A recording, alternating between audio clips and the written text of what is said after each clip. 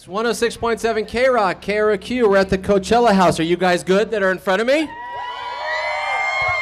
This threesome sitting on stage has never happened. Normally there's me and the three of you, me and the two of you. But today, when you have Dominic and Chris from Muse, I get very excited. Please welcome two of the guys from Muse here Dominic and Chris.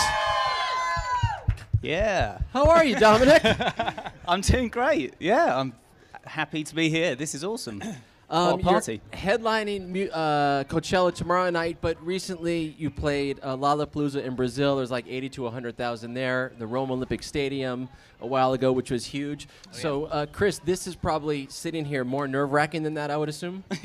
Uh, yeah, it might be actually. Yeah, Why? Because we're so close to everybody. yeah exactly. All right. So close. And it's light. Yeah. I can see everyone. Well, at least we're wearing shades. Takes the edge off. There you go. It's kind of like a fishbowl.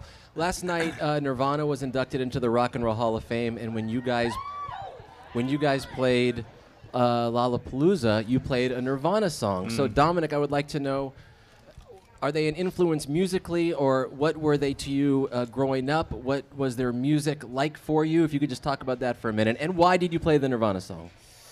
Um, yeah, they were like massively influence, uh, influential to us when we were growing up. I mean, we, uh, you know, they're one of the reasons we probably picked up some instruments and decided to start a band in the first place. And I think for many other people, many millions of people, you know, they were influential to, uh, you know, pick up an instrument and start a band. But um, yeah, we all loved them. You know, it was a band all three of us loved, and probably in many ways it was that kind of music and some other bands that kind of brought us together, and you know, we almost became friends because of that.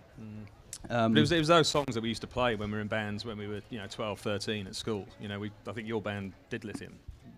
tried. Yeah. like we tried to do the other night. but it was actually, oh no, we, we did a gig in Brazil on, it was the 20th anniversary of his death on the 5th of April, I think. Um, so yeah, we played Lithium, or tried to play Lithium. And you But did a good job. Yeah, Very it good was, job. it was all right. It was fun to play. It definitely reminded me of like being 12 again in my first band and like, you know, playing at some kind of weird um, friend's party or something. Do you think if they put out music right now, fresh music, no one heard of them, it would be just as successful in 2014? Yeah, I do. Yeah, I mean, when you listen to Nevermind, it still sounds current. You know, I think I think when you compare it to rock bands that are around now, it, it's not out of place at all. You know. And how did you get the music? Where and wh- where were you living in 1991, 92, 93, 94? Uh, we were in Teignmouth. I mean, we was we were still at school in those Okay. days, you know. So, but yeah, I mean, it was it was massive for us. You know, I think it, it just changed the whole the whole music scene. I mean, in England at the time, rave was big. You know. So Nirvana Right. came along and just changed everything, and I think all of a sudden made the guitar cool again. You know, which is why so many bands popped up around that time. Uh, before I showed up to the K Rock Coachella house, I was blasting Muse in my hotel room. I was listening through my laptop. Take a Bow came on, and New Born came on, and I Ah. just love those songs. I love the build of those songs. Those things excite me. Those two particular songs, and I'm just curious. I want to nerd out for a minute here with you. What do you remember when you recorded Take a Bow? That's a long, uh, well, not that long ago, but kind of a long time ago at this point. Um, That song in particular. Shit, where were we? In the south of France? Yeah. Probably started it. We started it in the south of France with some studio down there. Um, on a big vineyard, it was amazing, beautiful. But um, I think I remember like literally farting around with those synth sounds for days, weeks, probably. Right. You know, all that kind of arpeggiated synth at the beginning. Um, I think yeah, it just you know it took a while to kind of find you know piece almost piece that song together. You know before we could actually play it and figure out what we were doing with it. You know it was uh, took a while. Took a while. Well, So it took a while to do the drums. Yeah, that I didn't know what drummer, the that fuck I was drummer in. Muse. I mean, come on now. All right, and Chris, I want to ask you about New Born. That's a song. The first time I heard it, years and years and years ago, I'm like, wow, this band is huge. But at the time, Hmm. not that many people, especially in LA or the US, knew of the band. But that song, when I when I listened back to it, I'm like, it's a no-brainer. Hmm. Wow, these guys are incredible. What do you remember about making music then, and maybe that song in Well that, particular? well, that song was actually written in the States, wasn't it? Because we were on tour with the Chili Peppers at the time. I think it was Really? the first proper tour that we did in America. so it was you and the Chili Peppers on the road. Uh, yeah, yeah. Okay.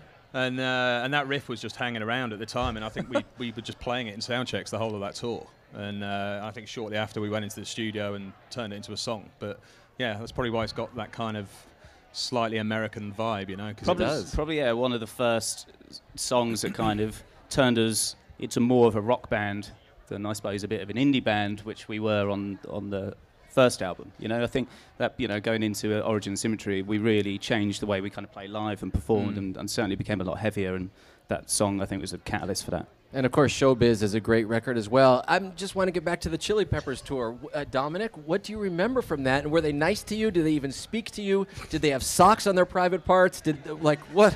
What the hell happened? Or were they jerk? I don't know anything. What what happened?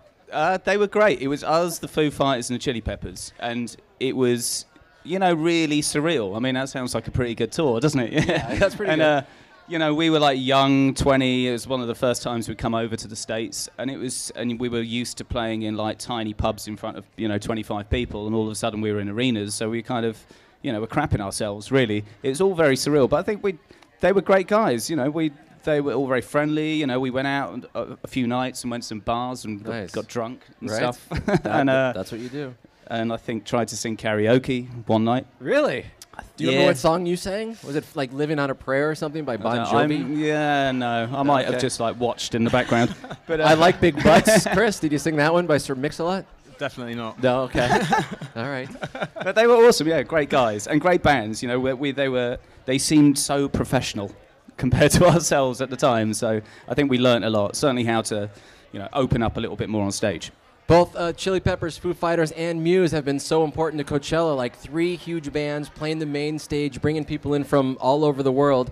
And uh, I remember last time you guys played here, I was so excited. At the same time, I was frustrated because when it's a festival, by the time you go on, some people have had too much to drink, had something else. I'm like, will you please shut up? I'm trying to watch this thing. And I'm like, after the first song, I was like, ah, I give up. I give up. But how do you find, uh, is there any intimacy at all for you guys when you play to 80,000 to 100,000 people, Dominic? And how do you get the energy, or is it just easy because you're playing? Well, you get the energy from from the audience, really. You know, it's it's kind of the cheesy classic line, but you know the, you know, I think the band's energy makes the audience energetic, and, and vice versa. Um, you know, eighty thousand people is not particularly intimate, But it can be. but I, uh, don't know, I personally find it more intimate than a, an arena, though. I mean, the arenas can be quite cold, you know. It's very dark. You can't see everybody. yeah. I think with a festival, everyone's just there to have a good time, and you get you get that feeling when you're playing, you know. All right, I'm going to ask two more things, then we'll let you go because the sun is beating down right on us right here.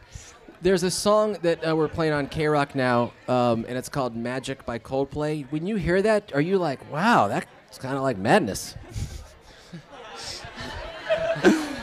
Oh, what to say? No, I mean, not, no, it's not a bad, not a knock. I'm just, it, kind, it reminds me a little bit of it.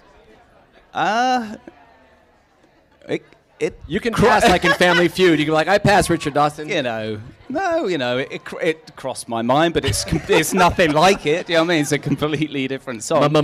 Magic. it, but it's a good track, you know. I think you know it's uh, you're like completely electronic and um, different for them, but I think it's good. All right, I see Do you, you like through your Ray Bans. Yeah, Yeah, I like both songs. By the way, so do you guys know that the song "Madness" was number one for 19 weeks in a row on the alternative U.S. chart? 19 weeks in a row. That is a record. And That's in the history record. of, of Muse, they've had so many songs that have been on the radio, so many great songs, even songs that I like more than Madness. And that's the one that stuck around. And ever, I mean, they all they all stick around. But man, what a huge song! Was that the uh, when when you made that song? Did everyone in the studio say, "Oh yeah, this is a record"?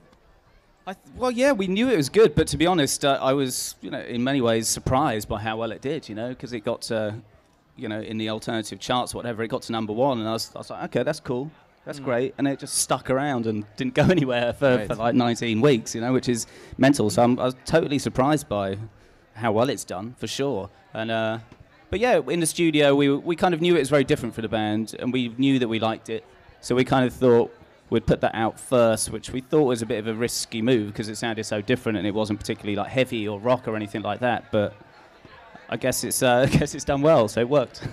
I like the voice. I love your voice when you sing. The songs are great that you sing.